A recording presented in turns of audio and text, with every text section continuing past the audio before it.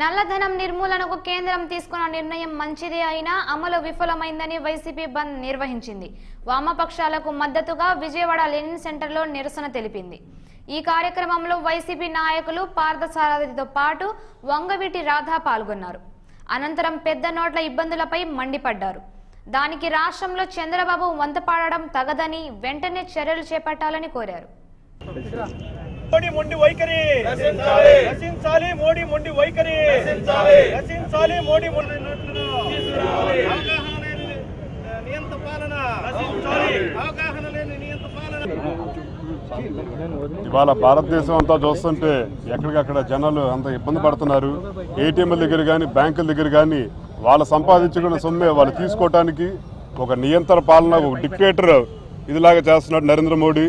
Absolute majority వచ్చిందని చెప్పని తన ఇష్టం వచ్చినట్టు చరిత్రలో ఏదో నిలిచిపోదు ఏదో చేద్దామని చెప్పని అర్ధరాత్రి పూట ఒక అనౌన్స్మెంట్ చేసుకుని తను తను గవర్నమెంట్ సొమ్ముతోటి అదే ఇది ఏ ప్రజలనైతే ఇరవై నాలుగు వేలు తీసుకోమన్నాడు వారానికి అదే ఇరవై నాలుగు వేలు తను తీసుకుని ఒకసారి పక్క దేశం వెళ్తే తెలుస్తుంది ఏంటి నొప్పి సామాన్యుడికి నొప్పి వస్తుంది అసలు ఇది.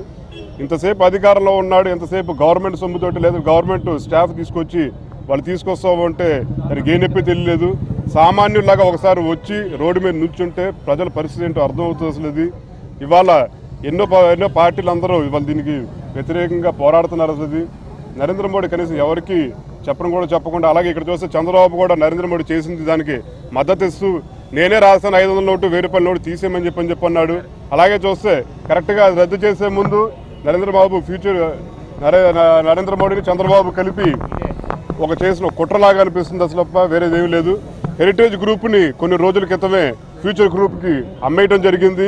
ఉన్న రేటుకి రెండు వేల పద్నాలుగు ఎన్నికలప్పుడు రేట్ ఎంత ఉందో షేర్ మార్కెట్ రేటు ఇవాళ రేట్ ఎంత ఎంత కమ్మాడని చెప్పని ప్రజలందరికీ తెలిసింది అసలు అలాగే దాని తర్వాత ఫ్యూచర్ గ్రూప్ సంబంధించిన రీటైల్ అవుట్లెట్స్ కూడా రెండు వేల రూపాయలు క్యాష్ విడ్రా చేయొచ్చు అని చెప్పని వాళ్ళు ఫ్యూచర్ గ్రూప్ వాళ్ళు ఇవ్వటం.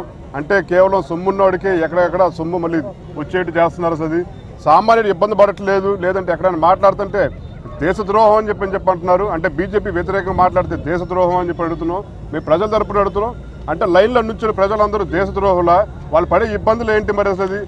ఒక ఆంధ్ర రాష్ట్రం సెకండ్ లాగా తయారైన ఒక వెంకయ్య నాయుడు వాళ్ళ భారతదేశం మొత్తానికి సెకండ్ లాగా తయారేసాడు ఇలాంటి పనికిమాలను మొగ్గు ఇలాంటి పనికిమాలిన మంత్రులు ఉన్నంత కాలం మన దేశం కానీ మన రాష్ట్రం కానీ మొత్తం నాశనం అవటం తప్పని చెప్పంటే ఏమీ లేదు. ఎట్టి పరిస్థితుల్లో సరే దీనికి పూర్తిగా వైఎస్ఆర్ పార్టీ తరఫున ఖండిస్తున్నాము. సామాన్య ప్రజలను ఒకసారి వచ్చి రోడ్డు మీద వచ్చి చూడండి. ఎంత ఇబ్బంది పడుతున్నారో? మీరు ప్రజలు కూడా దీనికి మద్దతుగా ఉన్నారు.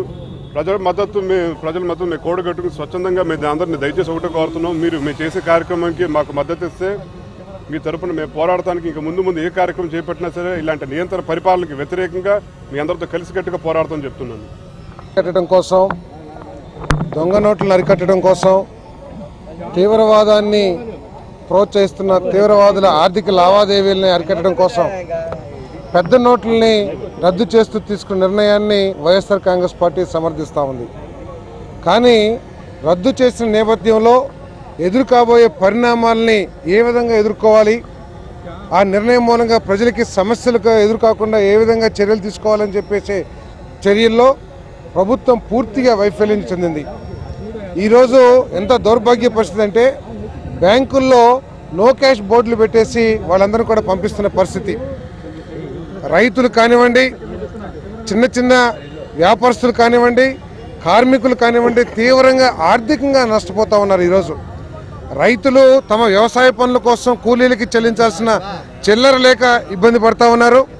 తాము పండించిన పంటను అమ్ముకుంటానికి నగదు షార్టేజ్ మూలంగా నోట్లు లేకపోవడం మూలంగా వ్యాపారస్తులందరూ కూడా సగం ధరకి కొనే పరిస్థితి అసలు కొనని పరిస్థితి కూడా ఎదురవుతూ ఉంది. అదేవిధంగా కార్మికులు చిన్న చిన్న వ్యాపారస్తులు కూడా నష్టపోతూ ఉన్నారు. డెబ్బై మంది ప్రజలు ప్రాణాలు కోల్పోయినా కూడా ప్రభుత్వం నమ్మకమైన చర్యలు చేపట్టడంలో పూర్తిగా వైఫల్యమైంది. యాభై రోజుల్లో సమస్యను పూర్తి చేస్తామంటున్నారు పరిష్కారం అవుతుందంటున్నారు. కానీ బ్యాంకింగ్ రంగ నిపుణులందరూ కూడా చెప్పేది ఏంటంటే రాబోయే ఆరేడు నెలల్లో కూడా ఈ సమస్యకి పరిష్కారం లభించదు. ఎందుకంటే మనకు కావాల్సిన కరెన్సీ కానివ్వండి ఈ దేశంలో కరెన్సీని ముద్రిస్తానికి ఉన్న ఇన్ఫ్రా వసతులు కానివ్వండి ఆరేడు నెలలు పడతాయని చెప్పి చెప్తున్నారు. ప్రభుత్వం వెంటనే ఏ విధంగా ఈ నష్టాన్ని పూడుస్తుంది ప్రజలు ఎదుర్కొన్న నష్టాన్ని ఏ విధంగా మరి తీరుస్తుంది అని చెప్పేసి చెప్పాల్సిన అవసరం ఉంది. దానికి నిరసనగా మేము ఈరోజు చర్యలు తీసుకుంటామని చెప్పేసి మనం చేస్తాం. ఇక్కడ దౌర్భాగ్య పరిస్థితి ఏంటంటే ఈ చంద్రబాబు నాయుడు గారి ప్రభుత్వం ప్రజల సమస్యలు ఏ విధంగా ఉన్నాయి ప్రజల సమస్యల కోసం పోరాటం చేసే ఉద్యమాలను కూడా అణగదొక్కడానికి ప్రయత్నం చేస్తూ ఉంది. ఈరోజు తెలుగుదేశం నాయకులు చెప్పమనండి ప్రజల ఎదుర్కొంటున్న చిల్లర సమస్యలకి మా సానుభూతి లేదని చెప్పేసి చెప్పే ధైర్యం ఉందేమని చెప్పేసి చెప్పండి. మరి అంత సమస్య ఎదుర్కొంటున్నప్పుడు మీరు చేయలేకపోతే మరి నిరసన కార్యక్రమాలు చేస్తున్న ప్రతిపక్షాల చర్యలు ఎందుకు అడ్డుకోవాల్సి వస్తుందో చంద్రబాబు నాయుడు గారు రాష్ట్రపతికి తెలియజేయాల్సిన అవసరం ఉంది. ఈ ప్రభుత్వం ప్రజాస్వామ్య ప్రభుత్వం కాకుండా పోలీసు ప్రభుత్వం లాగా వ్యవహరిస్తుందని చెప్పేసి మనం చేస్తున్నాం.